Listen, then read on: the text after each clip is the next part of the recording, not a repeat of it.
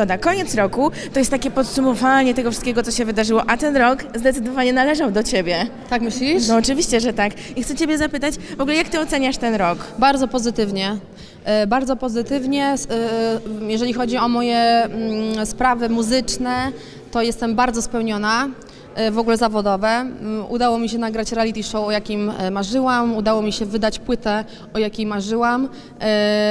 Zapisałam sobie w styczniu 2022, żeby była platynowa, stała się platynowa, żeby single były grane chociaż na rotacji C, były grane nawet na B i na A, co ja bym w życiu e, nie, nie marzyła o tym, a jednak się udało, więc mm, naprawdę, mm, naprawdę udało się. Mhm.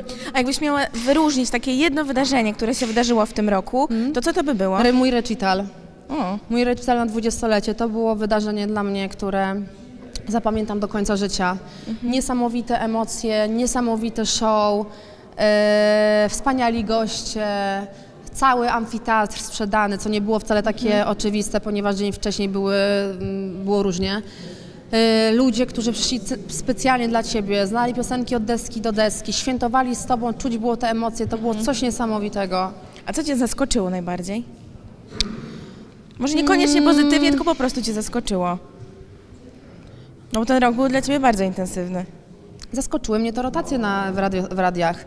To mnie bardzo zaskoczyło, bo ja bardzo tak e, e, podchodziłam do tego mm, raczej z takiej pozycji e, wycofania i nie to, że nie wierzyłam w siebie, tylko po prostu nie chciałam się nakręcać, żeby mi później nie było przykro.